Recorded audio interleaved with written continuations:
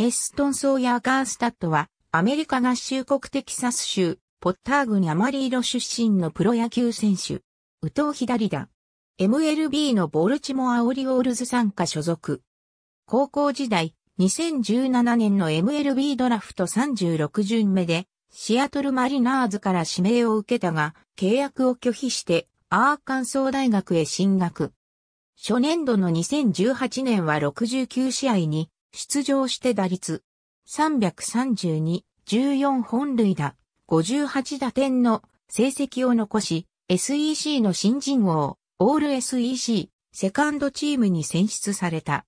2年目の2019年は65試合に出場して、打率327、17本塁打、51打点を記録した。またこの年の夏にアメリカ合衆国大学代表に選出され、第43回日米大学野球選手権大会に出場。14試合で打率395を記録した。3年目の2020年は新型コロナウイルスの影響でシーズンが途中で打ち切られたが、16試合で打率448、6本塁打、20打点を記録した。そして6月の MLB ドラフトで1巡目でボルチモアオリオールズから指名を受け、30日に契約した。 Randall's Kjerstad drafted by Mariners、The Amarillo Pioneer、2020年7月27日、閲覧。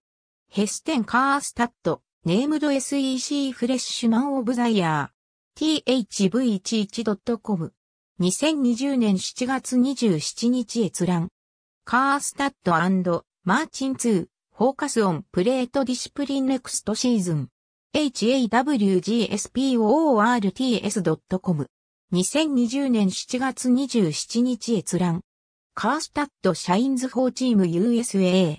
hawgsports.com。2020年7月27日閲覧。 Ruiz、Nathan、5 things to know about Orioles number 2 overall pick Heston Kjerstad、baltimoresun.com。2020年7月27日閲覧。 Orioles sign number 2 overall pick Kjerstad。mlb.com。2020年7月27日閲覧。ありがとうございます。